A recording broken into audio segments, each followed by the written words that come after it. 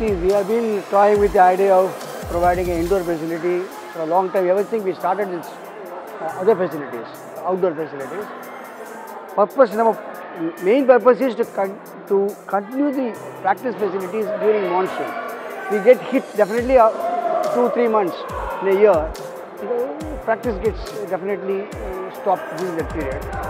So that was the main idea. But See, when we started looking at the indoor facility in other countries and uh, started reading about it, then we know this indoor court, indoors as a sport, it, it's a variant from outdoor uh, cricket, It's very catchy. And then looking at this area where a lot of corporate IT companies are there, we thought they'll have a lot of uh, fun here playing.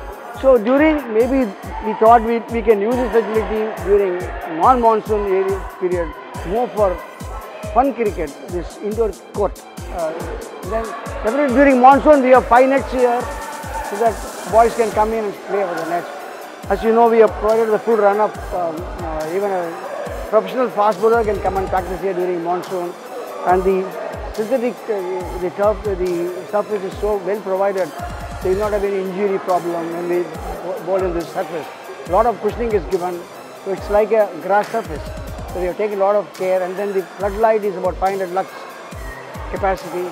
So there will be shadows, there will not be any problem for the eyesight. So we thought it's going to be useful to a lot of people, not only for practice, but for social cricket. I call it social cricket. Men, women of various skill levels, they can practice.